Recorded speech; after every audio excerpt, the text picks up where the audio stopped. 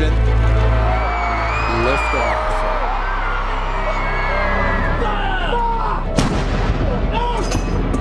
If you don't represent women in politics,